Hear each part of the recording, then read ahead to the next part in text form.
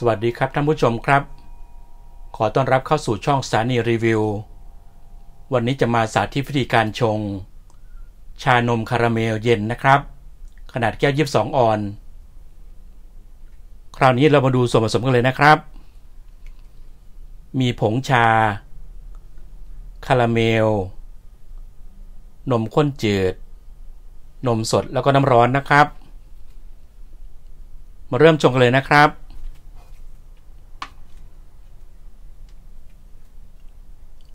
ผงชานะครับ ชาที่เราใช้วันนี้ครับ ชาตรามือนะครับ น้ำร้อนจะจัดเลยนะครับ 180 ml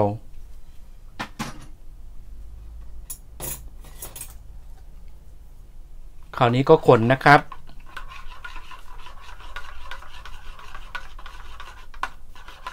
คนแล้วก็แช่ทิ้งไว้ประมาณ 1 นาทีนะครับ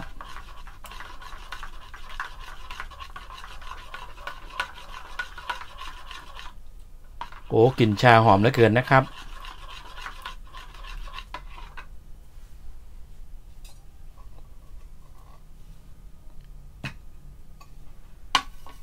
คราวนี้เราก็จะกรองกากชาทิ้งไปนะครับ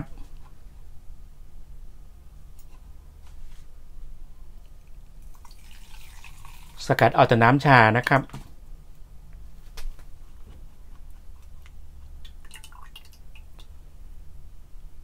น้ำชาจะออกเป็นสีส้มๆนะครับ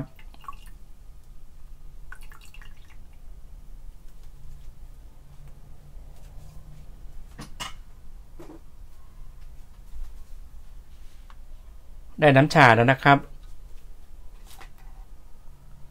คราวนี้เราก็ใส่ซอสคาราเมลนะครับ 45 ml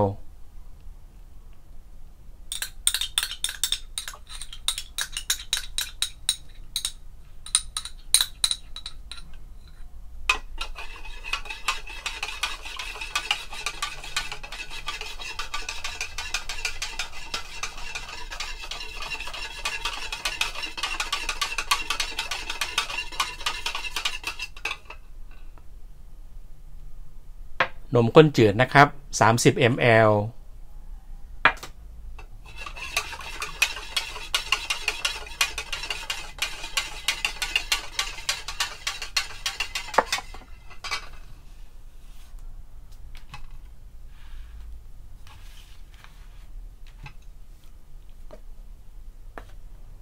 คราวนี้ก็น้ำแข็งนะครับ แต่เราจะราดแก้วสวยๆนะครับ ด้วยซอสคาราเมลนะครับ เพื่อความสวยงามนะครับ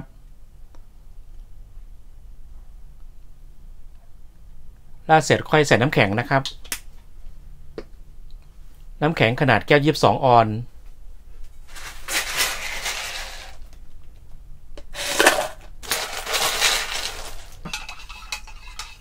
คราวนี้เราก็จะเท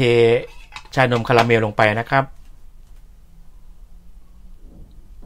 โอ้สวยน่าทานเหลยเกินนะครับ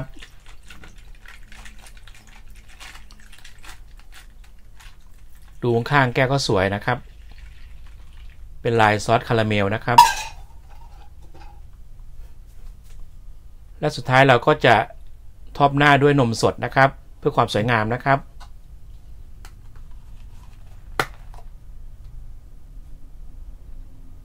ปิดฝาใส่หลอดพร้อมเสิร์ฟนะครับ ราคาขายอยู่ที่ 35ถึง40 บาทนะครับ บางที่ก็ 30 บาทนะครับ โอเคนะครับ เสร็จแล้วครับท่านผู้ชมครับ ชงง่ายๆ ตามสไตล์สถานีรีวิวาท่านผู้ชมชอบคลิปนี้ ก็อย่าลืมกดไลค์กดแชร์ กดติดตามและกดกระดิ่งด้วยนะครับ จะได้พลาดคลิปใหม่ของเราสำหรับวันนี้ ต้องขอลาไปก่อน เจอกันใหม่คลิปหน้านะครับ สวัสดีครับ